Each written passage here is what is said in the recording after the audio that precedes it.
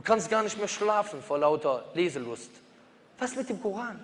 Im Koran steht nicht drin, wie kriegst du 10.000 Euro, die du morgen wieder ausgegeben hast. Steuer und hin und her und ein paar Red Bull gekauft an der Tankstelle, schon ist das Geld wieder weg. Nichts davon gekauft. Sondern hier hast du das ewige Leben. Das wird beschrieben. Wie bekommst du das ewige Leben? Und übrigens, Brüder, während dem Vortrag geht man nicht mit äh, Spendenboxen durch. Das lenkt die Leute ab. Weil ich wundere mich die ganze Zeit, was ist hier für eine Unruhe reingekommen? Muss man direkt mal gucken. Inshallah. So, und wenn wir jetzt, genauso ist es beispielsweise mit einem Fußballer. Ja? Man liebt ihn wegen bestimmten Eigenschaften. Wir sehen das doch um uns herum. Bestimmte Stars werden wegen bestimmten Eigenschaften geliebt. Der eine ist ein guter Fußballer, der eine ist ein guter Boxer, der kann die Leute umhauen, ja, findet man cool. Der eine ist ein guter Sänger, der eine oder die andere sieht gut aus. Diese Leute werden von Millionen von Menschen verehrt und geliebt. Aber sie sind nichts gegen den allmächtigen Gott. Aber man, was ich damit sagen will, ist, man liebt sie wegen ihren Eigenschaften. Deswegen schau doch einfach mal im Koran, wie die Eigenschaften von Gott sind. Womit fangen wir an? Mit dem gewaltigsten Vers im Koran. Suche 2, Vers 255. Allahu la ilaha illa wal hayyul qayyum. Allah, es gibt keinen Gott neben ihm, der ewig Lebendige. Das heißt, der war niemals tot und wird niemals sterben. Al-Qayyum, der aus sich selbst bestehende. La ta'khudhuhu sinatu wa la naum. Ihn überkommt weder Schlummer noch Schlaf. Jeden anderen, den du kennst, der wird müde. Aber Allah wird niemals müde, weil er allmächtig ist, weil er die Kraft hat.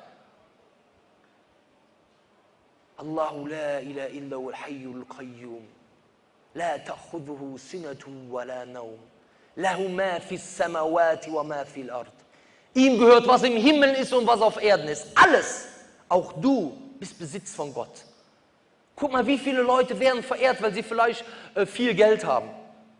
Oh, boah, super, guck mal, was der für ein Auto hat. Oh, oh, oh, Wird verehrt. Der hat auf einmal Anhänger. Ja. Brauchst du nur auf YouTube so einige Freaks reinzuziehen. Ja.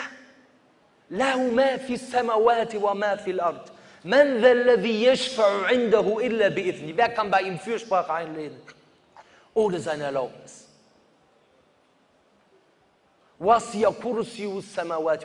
Sein Fußschemel übertrumpft, umfasst Himmel und Erden. Das ganze Universum und noch mehr, was wir gar nicht kennen. Größer als dies. Und dann sagt er, und ihm macht es keine Schwierigkeit, diese beiden Himmel und Erden, das Universum zu erhalten. Wenn Allah eine Sekunde das Himmel und Erde nicht erhalten würde, wären wir alle verloren. Guck mal, alleine dieser Vers. Guck mal, alleine diese Eigenschaften. Surah 113. Kul hu Allahu ahad. Sprich, er Allah ist einzigartig. Allahu Samad, der ewig Unabhängige, von dem alles abhängig ist. Lam yalid wa lam yulid. Er hat nicht gezeugt und wurde nicht gezeugt. Wa lam yakul lahu kufuwan ahad und niemand ist ihm gleich. Beispielsweise. Oder Surah 59, Vers 22, 23, 24. Allahu la ilaha illahu. Allah, es gibt keinen Gott neben ihm. Alimul Ghaibi wa Shahada. Der Wissende des, des Offenbaren und des Verborgenen, von allem. Ur-Rahman Ur-Rahim ist der Allerbarmer, der Barmherzige. هو الله الذي لا إله إلا هو Er neben dem es keinen Gott gibt. الملك القدوس السلام المؤمن المهيمن العزيز جبار المتكبر Was? Der Al-Malik, der Herrscher. Al-Qudus, der, der, der Heilige. As-Salamu, der Friede oder der Friedenbringer. Al-Mu'minu, der, der Sicherheit gewährt. Al-Muhaymin, der Wächter, der Wächter, der über alles wacht.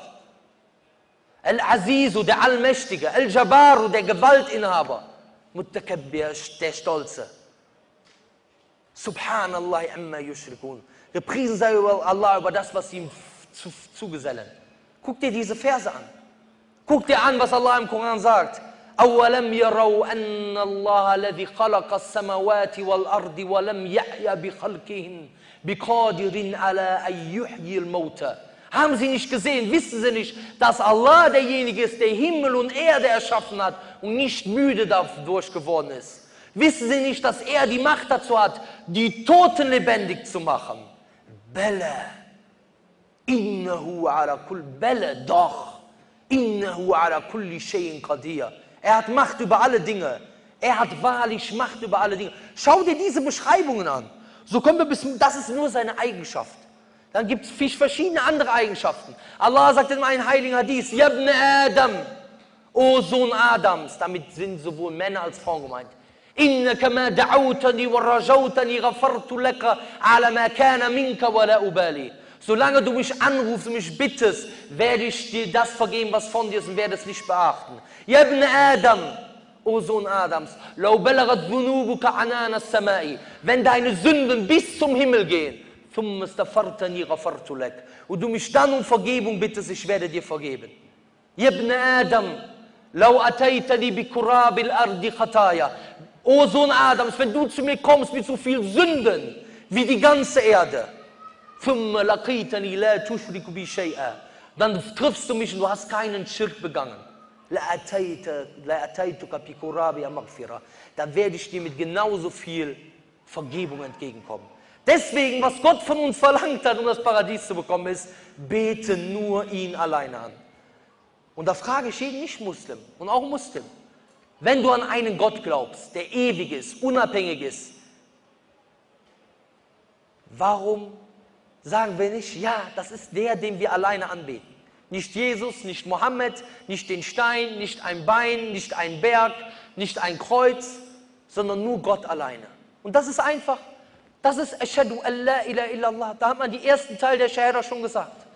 Das dazu. Und Allah sagt noch, was sagt er noch?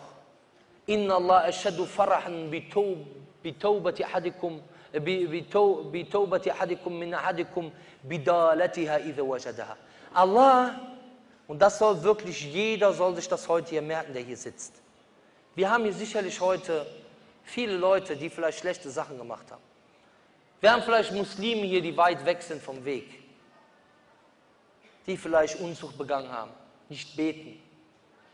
Aber du sollst wissen, wenn du heute hier rausgehst, hier aus dieser Tür da vorne, und du nimmst dir vor, heute werde ich mich ändern, heute werde ich ein anderer Mensch werden, dann freut sich Allah über dich mehr als jemand, der in der Wüste ist und sein Reittier ist verloren gegangen mit all seinem Proviant. Und er ist bereit zu sterben.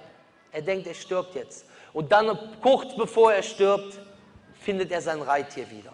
Allah freut sich mehr darüber. Deswegen soll hier heute keiner rausgehen ohne. Seht ihr, hier haben wir eine Eigenschaft von Allah gelernt heute, die uns vielleicht hilft, auf den richtigen Weg zu kommen. Subhanallah. Wir müssen Allah kennenlernen. Es gibt leider einige Leute, die wirklich Gott nicht kennenlernen, nicht kennen.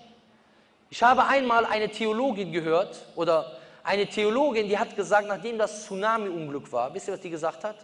Dieser, diese Flut. Sie hat gesagt, ja, warte, Gott, der soll mal abwarten. Wenn ich den am jüngsten Tag treffe, der muss sich warm anziehen. Theologin. Da sagen wir nur, du hast Gott niemals kennengelernt. Du hast Gott niemals kennengelernt. Da kommen wir gleich noch zu einem anderen Thema. Der Dajjal der wird am jüngsten Tag, der wird kurz vor dem jüngsten Tag kommen.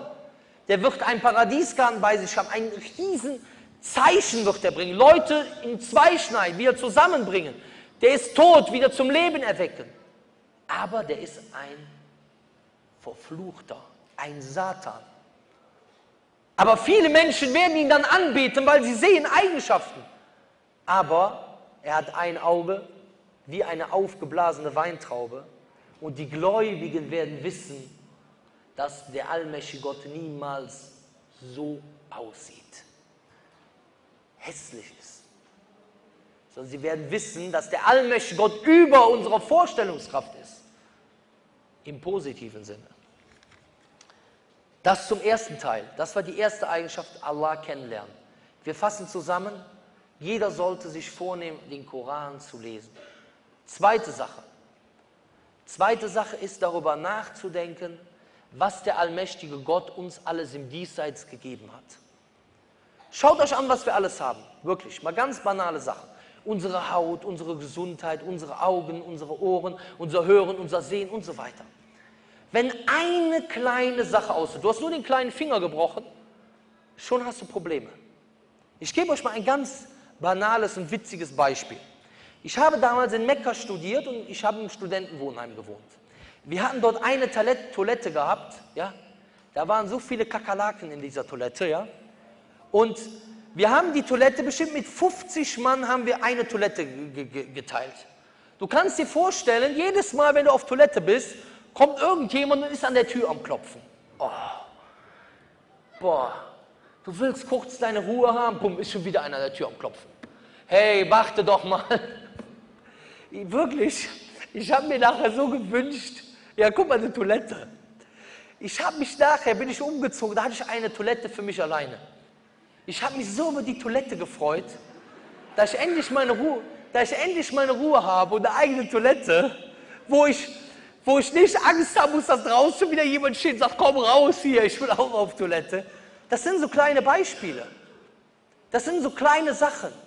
Aber glaub mir, das, was wir von Gott bekommen haben, da kannst du Tag ein und Tag aus beten, Tag ein und Tag aus beten, du kannst es ihm nicht zurückgeben.